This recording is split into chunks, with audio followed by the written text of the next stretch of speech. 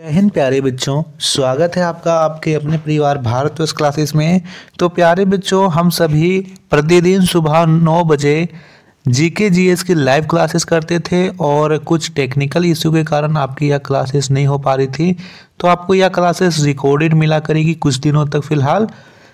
तो इस टॉपिक्स में हम लोग कर रहे थे भारत के प्रधानमंत्री और राष्ट्रपति, जिसमें पिछले वीडियो में मैंने आपको भारत के राष्ट्रपति के बारे में पूरा विस्तार से बताया था। इस वीडियो में हम भारत के प्रधानमंत्री के बारे में जानेंगे। स्वतंत्रता प्राप्ति के बाद वर्तमान 2023 तक भारत के प्रधान यहाँ पे प्रधानमंत्री कौन कौन से हुए हैं, कितने दिन के लिए हुए हैं इन सभी के बारे में हम इस वीडियो में चर्चा करने वाले हैं। तो जल्दी से इस वीडियो को लाइक कर देंगे अपने अपने दोस्तों को शेयर कर देंगे।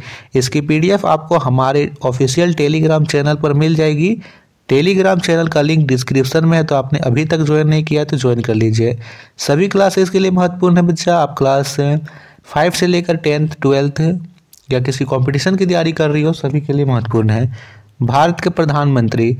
तो सबसे पहले यहाँ पे प्रधानमंत्री से संबंधित तथ्य को जान लेंगे। प्रधानमंत्री लोकसभा में बहुमत प्राप्त दल का नेता होता है। ठीक है? लोकसभा जिसे हम निम्न सदन या फिर निचला सदन भी कहते हैं। अभी तक भारत में कुल पंद्रह प्रधानमंत्री हुए हैं। इन पंद्रह प्रधानमंत्री में से कौन पहले हैं, दूसरे हैं, इन सभी के नाम हमको यहाँ पे देख लेना है। ठीक है? तो सबसे पहले यहाँ पे होते हैं जवाहरलाल नेहरू, भारत के प्रथम प्रधानमंत्री पंडित जवाहरलाल नेहरू है। 15 अगस्त उन्नीस सौ सैंतालीस से 27 मई 1964 तक। यहाँ पे ये 16 साल दो सौ छियासी दिन, याद रखेंगे 16 साल दो सौ छियासी दिन के लिए प्रधानमंत्री बने थे। दूसरे थे लाल बहादुर शास्त्री। ठीक है? लाल बहादुर शास्त्री एक वर्ष और दो सौ सोलह दिन। याद रखना है, एक वर्ष दो सौ सोलह दिन के लिए ये बने थे। इसके पहले यहाँ पे प्रधानमंत्री जो थे गुलजारी लाल नंदा, है ना? यहाँ पे जो इसके बीच जो प्रधानमंत्री बने थे, वे कार्यवाहक प्रधानमंत्री बने थे। ठीक है तो उनका क्रम आपको नहीं याद रखना है, सीधा याद रखना है, कार्यवाहक। जो नाम था गुलजारी लाल नंदा, गुलजारी लाल नंदा मात्र तेरह दिनों के लिए प्रधानमंत्री बने थे, कार्यवाहक प्रधानमंत्री। तो दूसरे हो जाते हैं लाल बहादुर शास्त्री, तीसरे नंबर पे आते हैं इंदिरा गांधी।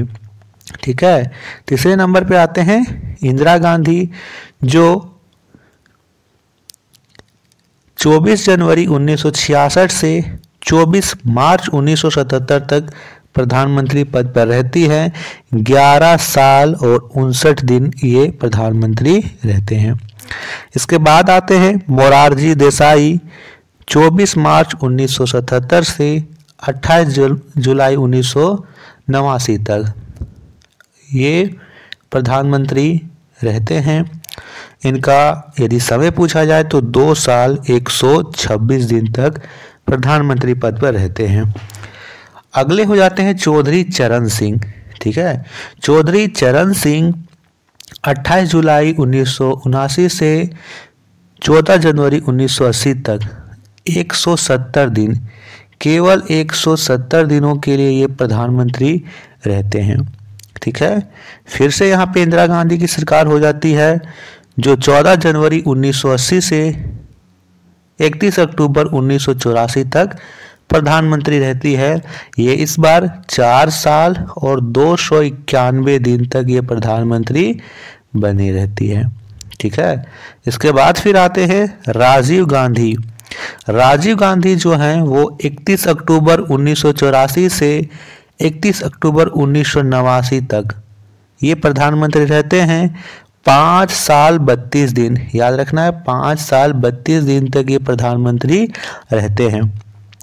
इसके बाद अगले हो जाते हैं विश्वनाथ प्रताप सिंह। विश्वनाथ प्रताप सिंह के बारे में याद रखना है कि ये 2 दिसंबर उन्नीस सौ उनासी से 10 नवंबर 1990 तक ये रहते हैं मात्र 343 यानी पूरे एक साल के लिए भी नहीं 343 दिन के लिए ये प्रधानमंत्री रहते हैं। उसके बाद आ जाते हैं चंद्रशेखर जी, जो 1990 से उन्नीस सौ इक्यानवे, मात्र 223 दिन तक 10 नवंबर 1990 से 21 जून उन्नीस सौ इक्यानबे तक ये प्रधानमंत्री पद पर रहते हैं। उसके बाद अगले प्रधानमंत्री होते हैं नरसिंह राव। या फिर इनका नाम याद रखते हो?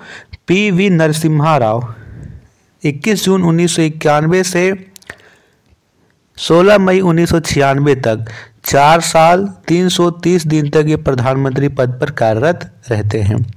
ग्यारहवें नंबर पे याद रखना है अटल बिहारी वाजपेयी।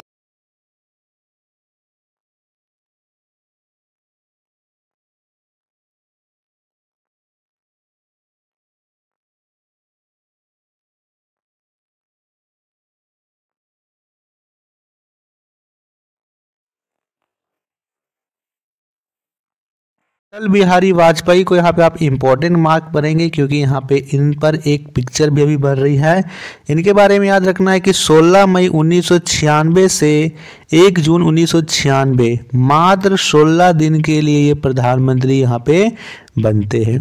ठीक है? सबसे कम प्रधानमंत्री गुलजारी लाल नंदा हैं। उसके बाद ये 16 दिन के लिए यहाँ पे बन रहे हैं।